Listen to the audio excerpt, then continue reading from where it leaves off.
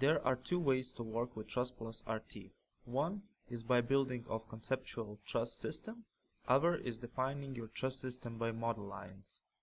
I will start with first one as it is more common and easier to start with. Second one is more advanced one that has more versatility and will be explained in later parts of this tutorial. Building conceptual truss system needs a roof to be built by picking walls.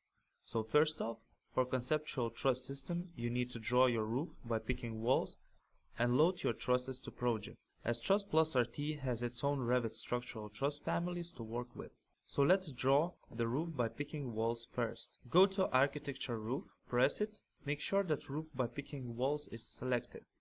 And now you can draw lines for your roof. Here's a neat Revit tip. You can select multiple walls that is connected by pressing Tab key on your keyboard till all of the walls will light up.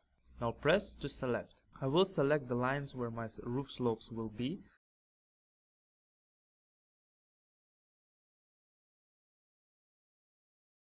and check define slopes.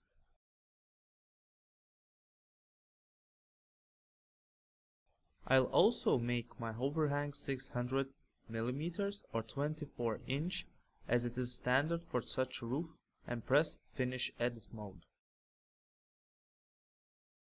Now I will define roof depth as I will attach my trusses to bottom of the roof as I designed the Revit roof to be a presentation of my top layers of roof.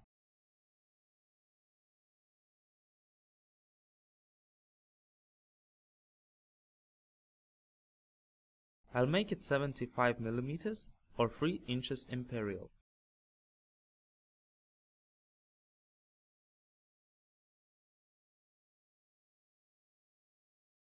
Now I will make my roof surface transparent as it is much easier to work.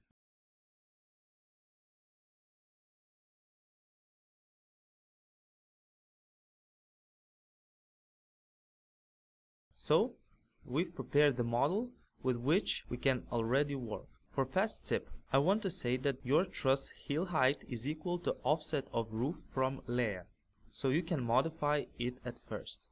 Now let's find Truss Plus RT under Tools for Revit tab in Revit ribbon. Drag it out for easier accessibility. Here we have Categorize menu, in which you should look for Configurations, Load Truss Types function. Press it and then press OK in the dialog box.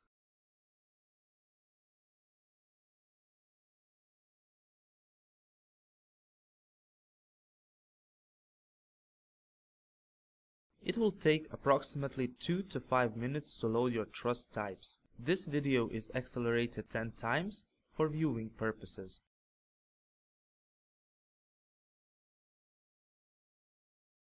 After that, you should get a confirmation box. We are now ready to model some trusses.